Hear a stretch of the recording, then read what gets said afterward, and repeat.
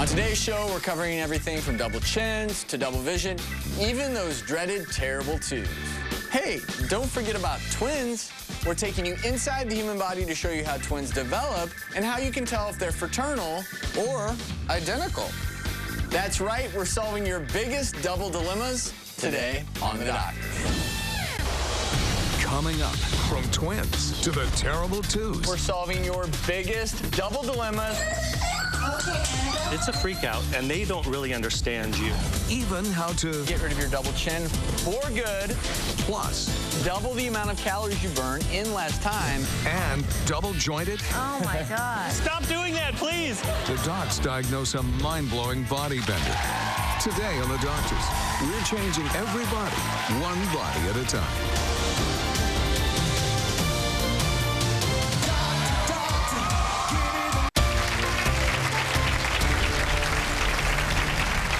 From double chins to the terrible twos, today we're solving your biggest double dilemmas. And now we're turning to a dilemma that affects two things, both of your eyes.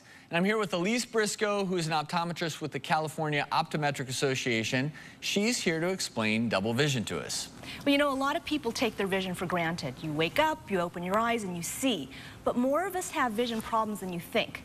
Research has shown that over half of us have some sort of vision problem that interferes with seeing 3D vision. So either we have double vision or we have problems seeing 3D movies, we have problems with depth perception or driving. And 5% of us have a lazy eye called strabismus, mm-hmm. where the eye either turns in or out, and the eyes just don't work well together. So those people see double all the time or the brain shuts off and ignores one eye as a survival mechanism to avoid seeing double. So those people live in a flat and two-dimensional world. They don't even see 3D at all. And we've got an eyeball here to kind of Yes. explain the process. So, so Yeah. walk us through that. Okay, well, vision is actually a pretty complex process. What happens is that the image enters the eye through the cornea and the lens, and it's focused on the back of the eye, which is called the retina.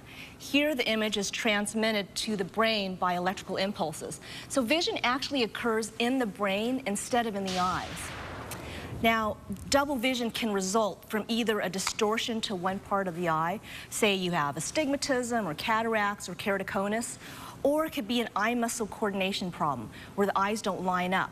And either that's developmental, and that usually starts at around age two, um, where the brain never learns how to coordinate the eyes together. Because you're not born with the ability to see, it's learned and stimulated and trained.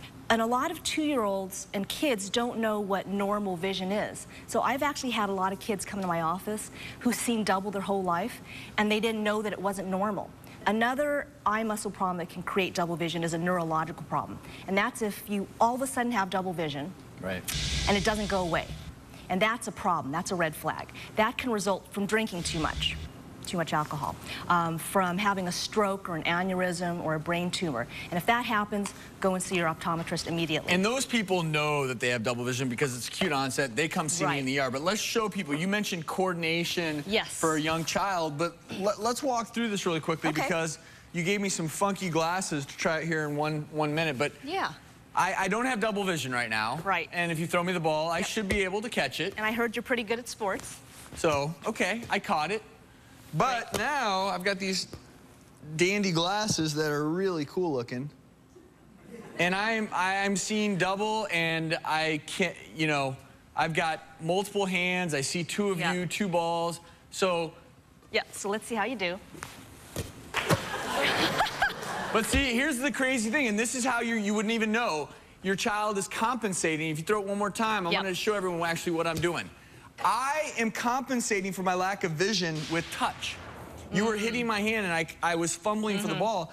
So your child could have problems with their vision and you wouldn't necessarily know it. You just look a little bit more clumsy. Right, right. And you mentioned 3D. I, everyone in the audience should have 3D glasses. So let's put these glasses on because 3D movies are pretty cool. You see the images coming at you. And so we've got our 3D glasses on. I want everyone to watch the screen behind me for a little 3D action.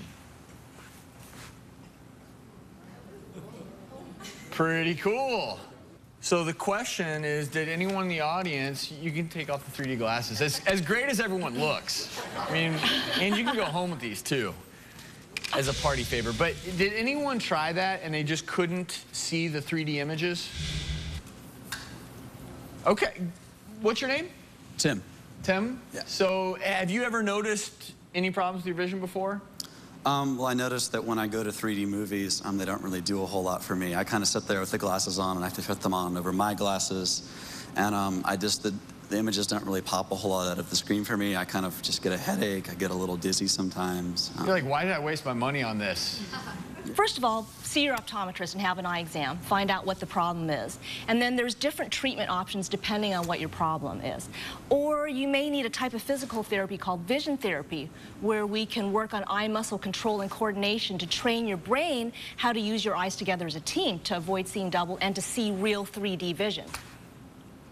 So thank, thank you, sir. And, and not being able to see 3D movies is not such a big problem, but not being able to catch a ball or read, because if you look at these images, I want mm-hmm. everyone to look and see what a person seeing double would see when they're looking at a bird, or even worse, if you're trying to read.